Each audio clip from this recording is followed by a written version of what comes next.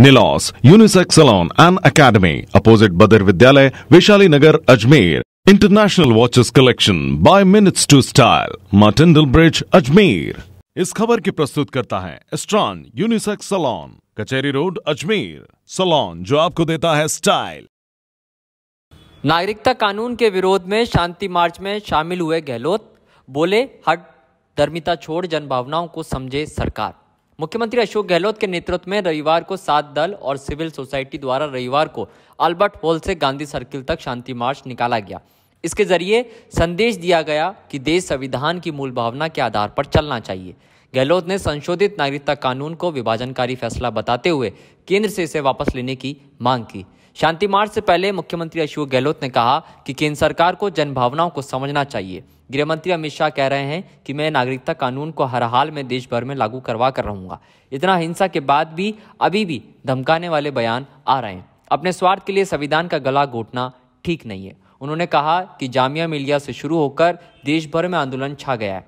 इसमें सभी धर्मों के लोग प्रभावित होंगे। साथ ही उन्होंने सवाल किया कि हिंसा की खबरें सिर्फ़ भाजपा शासित राज्यों से ही क्यों आ रही है? दूसरी ओर माहौल खराब होने की आशंका को देखते हुए पुलिस की ओर से जयपुर शहर में इंटरनेट सेवा रात आठ बजे तक के लिए बंद की गई है। मेट्रो को दोपहर दो बजे तक बंद रखा गया। इस दौरान जयपुर पुलिस की ओर से सुरक्षा के पुख्ता बंदोबस्त किए गए। इस विरोध प्रदर्शन को देखते हुए 7,500 से अधिक पुलिसकर्मियों को तैनात किया गया। इसके साथ ही ड्रोन के माध्यम से शहर के अलग अलग इलाकों में निगरानी रखी गई। वहीं रैली के दौरान भी एसटीएफ और आरएस, आरएसी की विभिन्न टुकड़ियाँ मुस्तैद रहीं। इसके साथ ही मुख्यमंत्री अशोक गहलोत के चारों तरफ़ सुरक्षा घेरा बनाकर ईआरटी और क्यूआरटी की कमांडो रैली में साथ साथ चलते रहे। साथ ही गांधी सर्किल पर हो रही रैली को देखते हुए पुलिस मुख्यालय से डीजीपी भूपेंद्र सिंह यादव और DG law and order ML Lathar Abhay command centre के माध्यम से निगरानी रखे रहे।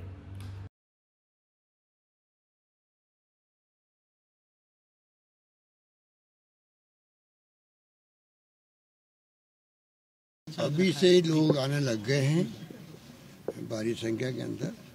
और ये कुछ संख्या का सवाल नहीं है। ये सवाल है एक मैसेज देने का।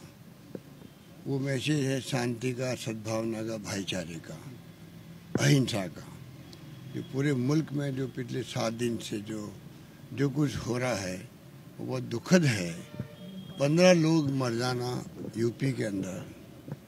ये क्या संदेश देता देश को? जो सबसे बड़ा राज्य है देश का, यूपी, पंद्रह लोग मर गए। और अभी हम देखते टीवी के अंदर, धमकाने वाली भाषा काम नहीं आ रही है। प्रॉपर्टी जब्त करेंगे एन एनएसएम बंद करेंगे। क्या क्या नहीं कहा जा रहा। ऐसे वक्त में जब आग लगी हुई हो तो पहले आग को शांत कैसे करें? आग को बुझाएँ कैसे? उसके करने की बजाय, जिस रूप में स्टेटमेंट आ रहे हैं और हिंसा सिर्फ़ वही हो रही है जहाँ बीजेपी शासित राज्य है। पूना के अंदर बम्बई के अंदर, हैदराबाद के अंदर, वहाँ पे भी एक एक लाख लोगों के जुलूस निकले हैं। कहीं हिंसा नहीं हुई है। तो आज प्रधानमंत्री जी मैं अपील करना चाहूँगा, कृपा करके ये जो कुछ देश में हालात बन गए हैं देशवासियों की भावनाओं को समझने का कोशिश करें। ये खाली माइनॉरिटी का सवाल नहीं है। ये जो मैसेज गया हुआ है, मुस्लिमों के हिसाब से लोग सड़कों पर आ रहे बिल्कुल गलत है। हालात ये हैं कि छात्र चाहे वो कोई जाति, कोई धर्म का हो। जामिया मिला से शुरू हुआ, पूरे देश में फैल गया, क्योंकि ये जो कानून बनाए गए हैं, ये खाली एक कौम को टारगेट नहीं होगा। इसमें सभी धर्म के लोग, सभी जाति के लोग तकलीफ़ पाएँगे। जैसे आपके नोटबंदी के वक्त में पूरे मुल्क में लाइनें लगी थी 150 लोग मारे गए थे, तभी मोदी जी घबरा गए थे। जैसे अभी घबराए हुए हैं मोदी जी भी और अमित शाह जी भी। और सफ़ेद देते फिर रहे हैं, उस उस वक्त में भी मुझे याद है घबरा गए थे। और ये कहा था, मुझे सिर्फ़ भाई और बहनों पचास दिन दे दीजिए। पचास दिन में सब ठीक कर दूँगा, वरना मैं चौराहे पे आके खड़ा हो जाऊँगा। आज हालात बहुत गंभीर बन गए हैं।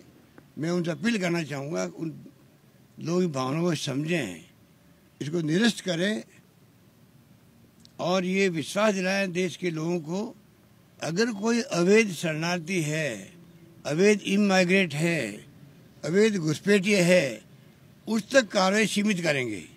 उसमें किसी देश को चाहे हिंदू है, चाहे मुस्लिम है, चाहे सिख है, चाहे ईसाई है, किसी को एतराज़ नहीं है, कोई एतराज़ नहीं होगा। ये घोषणा करे, जो अवैध घुसपैठिए देश में आ गए हैं, उससे हमें चिंता है, हम उसको रोकना चाहते हैं। पूरा मुल्क उनके साथ रहेगा। उसकी बजाय आपने, क्योंकि आप आसाम में फेल हो गए, आसाम में उन्नीस लाख लोगों का शरीर हो गया निकालने के लिए मालूम पड़ा उन्नीस लाख में सोलह लाख हिंदू है। आज वहाँ पर कांग्रेस, बीजेपी तमाम लोगों ने क्यों उसको रोक दिया? क्यों वहाँ रिवोल्ट कर रहे हैं? क्यों वहाँ खिलाफत कर रहे हैं उसकी? इसलिए उसका तरीका निकाला गया आगे के लिए, ये देश समझ रहा है। ये देश समझ रहा है। आप आसाम में फेल हो गए, जबकि सुप्रीम कोर्ट की मॉनिटरिंग हो रही थी, तब भी फेल हो गए आप। जब आपको मालूम है आप फेल हो गए, तब भी अमित शाह जी पिछले चार महीने से जो भाषा बोल रहे हैं, मैं पूरे मुल्क में लागू करके रहूँगा एनआरसी आप बताइए, आप और भड़काने वाला काम कर रहे हो। इसलिए आज लाइनों में पूरे मुल्क को लगाना है, उनके बाप दादाओं की हिस्ट्री पूछनी है, कागजात मांगने हैं, कितना पैसा खर्च होगा, कितनी रिश्वत दी गई होगी वहाँ पर आसाम के अंदर, आज आसाम के लोगों के बारे में। जो अभी कमीशन बैठा था दिल्ली के अंदर, और वहाँ पे जो आके लोगों ने अपना रिप्रेजेंटेशन दिया, उन्होंने कहा कि आज लोग अवसाद के अंदर है वहाँ पर, आसाम के अंदर। लोग घबराए रहेंगे कितने दिन तक हमें लाइनों में लगे रहना पड़ा। सात सात दिन तक हम सब काम छोड़ के कागजात को ढूँढने में लग गए, मिले नहीं। कल एक पत्रकार मिला जयपुर मुझे। 130 सालों की फैमिली वहाँ पर रह रही है।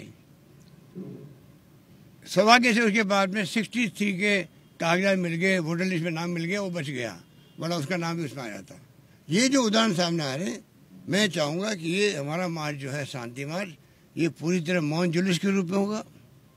कोई नारेबाजी नहीं होगी, सिर्फ़ तख्तियाँ होगी, उस पर लिखा होगा संदेश। उस संदेश को मैं समझता हूँ, केंद्र सरकार को पढ़ना चाहिए। शांति मार्च है, फिर इंटरनेट मेट्रो और जेसीटीएसएल की बसों को बंद करने का क्या औचित्य? देखिए, जब ऐसी स्थिति बनती है, ज़्यादा भीड़ इकट्ठी होती है, पूरे माहौल में जब हिंसा का माहौल बना दिया गया, और बन गया है, लोग मर रहे हैं, मारे जा रहे हैं, ऐसे माहौल में अगर कोई प्रिकॉशन ली गई है तो ज़्यादा एतराज़ नहीं करना चाहिए।